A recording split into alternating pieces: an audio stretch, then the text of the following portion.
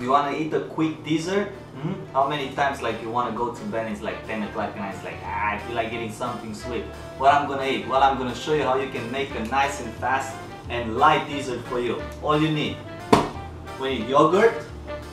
We need uh, some uh, mama jam, right? Strawberry. And just a touch of Nutella. We need that chocolate and I have some fresh white strawberries too here. So, of course, don't do too much. I'm gonna use like like three spoons of yogurt, maybe four.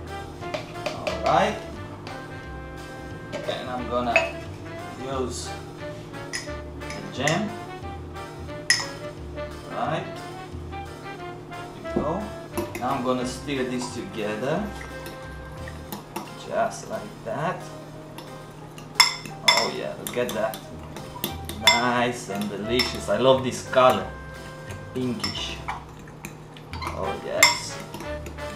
Right. Then I'm gonna add mm, just a little bit of Nutella. There we go. Nice. Mix all that together. Then I'm gonna chop some strawberries, throw them on top there. Right. Okay. And a little bit of nuts. Nice.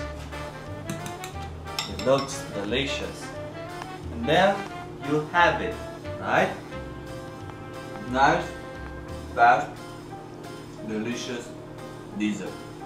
And if you like my t-shirt and you want to purchase a t-shirt same as me, I'm going to put a link in the description where you can go and purchase a t-shirt like me. And please subscribe for more videos and recipes. Thank you.